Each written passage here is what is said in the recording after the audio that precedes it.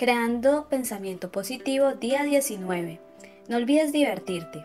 Las personas que se divierten con frecuencia en sus vidas suelen ser más felices y positivas, ya que no todo es trabajo fastidioso y monotonía interminable.